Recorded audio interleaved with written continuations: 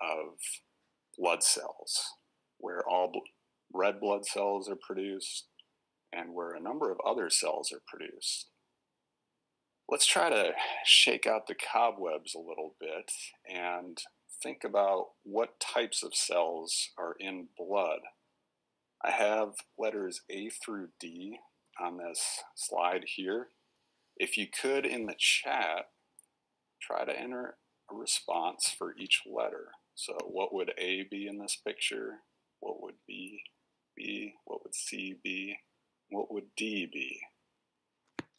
I'll give you a hint. It was covered in our last lesson. It's in the notes. So let's take the next 30 seconds to think about it and enter our responses in the chat.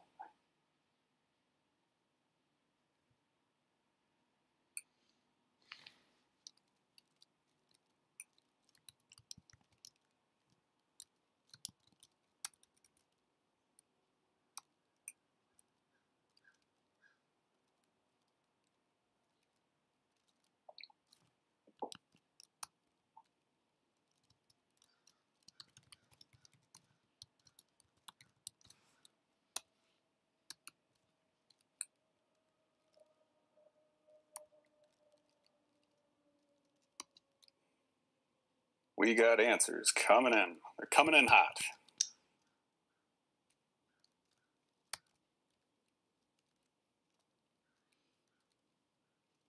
Give ourselves 10 more seconds.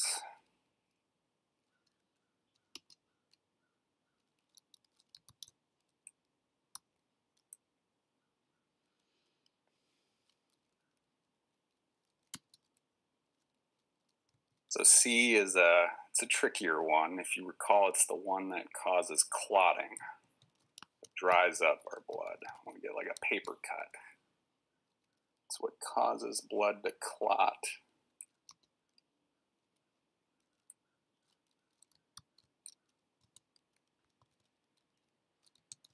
And then D, just look at the color. I think that's the best hint or clue. Yeah. Excellent. So all responses I'm seeing are look to be correct. So we have A is white blood cell, so like a lymphocyte. B is plasma. You'll recall it's kind of got all the goodies in it, like fats and proteins. C's are platelets. D's are red blood cells. We covered a lot in the last lesson. We talked about know, how bone marrow produces uh, or contributes to blood supply and replacing blood. But we're missing one crucial feature to this story.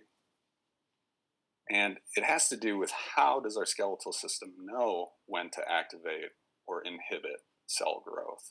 So you can see from this picture here, we have kind of on the left is an image of spongy bone. So that's an epiphysis the long bone, it appears, and you can see the vasculature circulating throughout. That's where blood is going to flow through.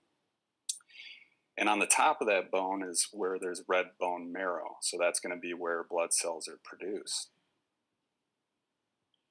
I wonder how does our bone, like skeletal system know when to crank out these cells or when to stop cell growth?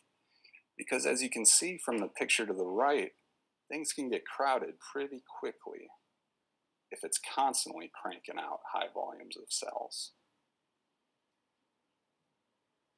Anyone have any thoughts about how our body knows when to produce or when to stop producing cells? Hmm.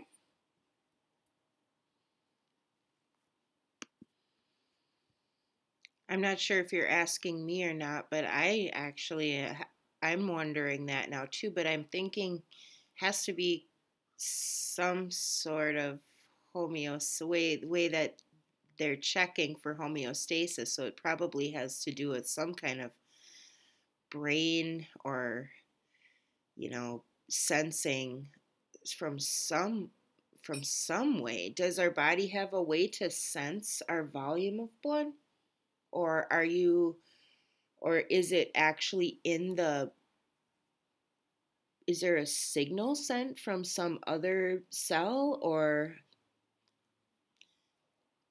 Yeah. don't answer good- yet maybe other kids will have questions Those are good wonderings.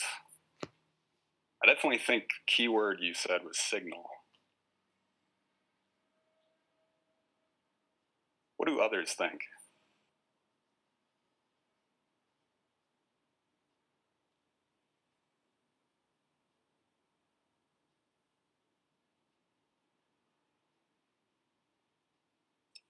It has to do something with like neurons and after a part of the skin or whatever is ruptured or there's an intrusion neurons send a signal over to the bones to tell them about it That, yeah, that could be definitely one possibility.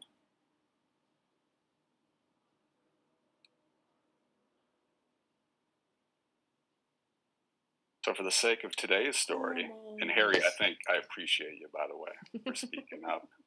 Um, that takes a little bit of courage, and I think that was an excellent guess. So, when we talk about kind of homeostasis, this is sort of a regulation story. And regulation is driven by what is called hormones. And hormones are, we can think of them as like signal molecules. So, in our red blood cell story, we see that when our body senses, say, a low red blood cell supply, which is also a low oxygen supply, this is harmful. It's harmful to tissues. Like, there's a reason why when we have low oxygen, we get tired, fatigued, dizzy. Our tissues require oxygen, our organs require oxygen. So, when our body is hit with this stimulus of low oxygen, it secretes hormones. And so, in the red blood cell story, our kidneys actually secrete a hormone that's called EPO. I'm going to butcher this name, but it's erythropoietin EPO for short. I'll call it EPO from here out. And EPO is secreted and actually sent out through the circulatory system. So it's going to go down, travel around the body uh, to target cells. And those target cells are actually, in our case, in bone marrow. And once uh, the hormones bind to bone marrow, they're going to activate target cell production. So if you can think back when we're talking about bone marrow and in your kind of research uh, for the last assignment, you probably came across the word stem cells in bone marrow. So what's cool about bone marrow is it has a bunch of stem cells that are just waiting. They're not yet designated to produce a certain type of cell. So if I'm a stem cell, I don't know yet if I'm going to become a red blood cell, if I'm going to be a white blood cell, or if I'm going to be a platelet. But when a hormone comes by and binds to my stem cell receptor, then all of a sudden I'm drafted. So if EPO comes and binds to my receptor, I know I'm going to start cranking out red blood cells because the body's in low oxygen supply and I got to start carrying around oxygen to the rest of the body and save the day. So that is kind of this regula- regulation story of blood cells and oxygen. Uh, it's also this is how hormones are you know involved in every homeostasis story. Really, they're going to be hit with a stimulus. Your body's going to somehow secrete uh, specific hormones that are in charge of specific production. They will travel around the body, bind, and crank out whatever types of cells uh, the body needs to get in balance again. And then finally, there's this termination piece. So, like when uh, the body senses that we've cranked out enough oxygen and we're back at homeostasis, it turns off that hormone production. Therefore, it turns off kind of that rapid production of blood cells. So, what would be a good example of when your body's uh, low in oxygen or when you've lost a lot of red blood cells? Can someone think of something?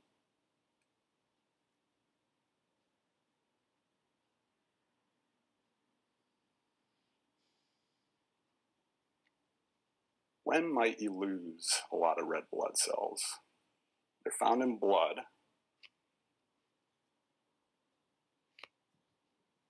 If you get a cut, Yeah. How about a big cut? Let's talk about like car accident type cut. or gunshot wound. I think of the ER when I think of instances when uh, there is a need for blood transfusions or there's a need for EPO. Like, hey, our body needs a lot of RBCs produced, uh, red blood cells produced now. So that's a good example, Sophia, of when EPO would get cranked out. So the other two examples I have, and this is going to be a part of your reading for the next couple days. Uh, this is an assignment on Schoology. I want you to review uh, specific hormone stories for oxygen homeostasis. So this is related to our bone marrow. And also calcium homeostasis. So we talked a lot about bone remodeling. So this is where we're going to find out about the calcium homeostasis story and what types of hormones are involved in that. So our schedule for the next couple days, uh, we'll go, you're gonna read the notes, uh, those two slides, they're kind of a cheat sheet to hormones. And I posted this really cool article by Oregon State University on Schoology. This one unpacks exercise, nutrition, and hormones, uh, all the major players involved in bone remodeling and calcium homeostasis. So as you think about your bone pathology project and you get to the whole like what hormones are involved in this story, that's going to be an excellent resource for you. And in fact, I encourage you to read it and reference it as one of your citations when we look at bone pathology. So I want to shift gears. First of all, before we do that, what questions do you have about hormones?